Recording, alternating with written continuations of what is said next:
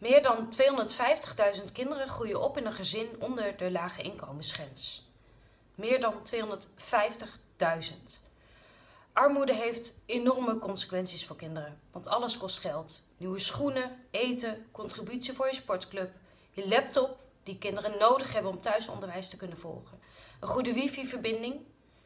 Armoede gaat vaak gepaard met schaamte, maar ook met sociale uitsluiting.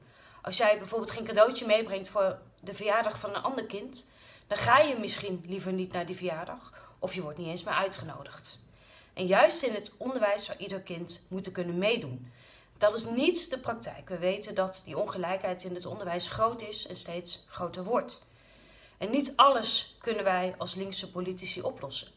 Maar er is iets dat we het afgelopen jaar wel voor elkaar hebben gekregen. En dat is dat onze wet is aangenomen die regelt dat het niet betalen van de ouderbijdrage door ouders of verzorgers, dat dat nooit mag leiden tot uitsluiting van kinderen bij activiteiten die de school organiseert, bijvoorbeeld het Sinterklaasfeest, bijvoorbeeld een schoolreisje of een buitenlandse reis. Misschien eerst een misverstand wegnemen. We schaffen niet de ouderbijdrage af. We schaffen ook niet het vrijwillige karakter af. Die ouderbijdrage die is, maar die was ook al vrijwillig. En scholen moesten dat ook al expliciet aan ouders communiceren en het in de schoolgids opnemen. We zorgen wel met deze toevoeging aan de bestaande wet dat het niet kunnen betalen van de ouderbijdrage en niet toe mag leiden dat, dat een kind niet mee mag. Lossen we hierbij armoede op? Nee.